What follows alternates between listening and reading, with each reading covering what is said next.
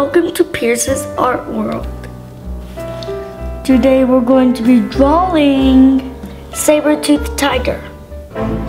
A saber-toothed tiger is a ferocious, big, long teeth that can kill, and its claws are are as sharp as talons. These are what saber-toothed tigers look like. Want to get the soul of it, you need to feel it. You need to get the what it looks like in your mind. And you need to know what you need to draw. That's how you know. To begin my picture, these are my tools.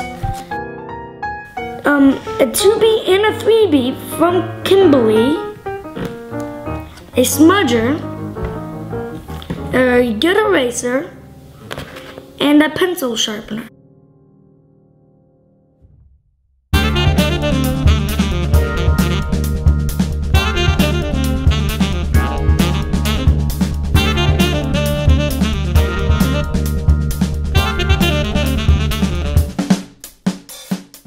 Now I'm going to start to color, and this is my coloring set.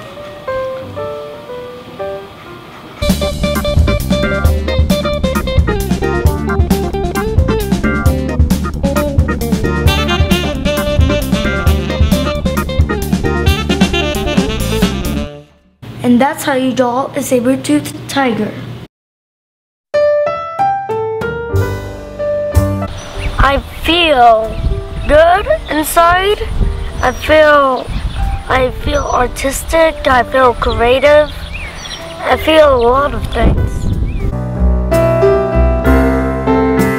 My advice was is be creative and and draw whatever is in your mind and draw it exactly how you want it to be.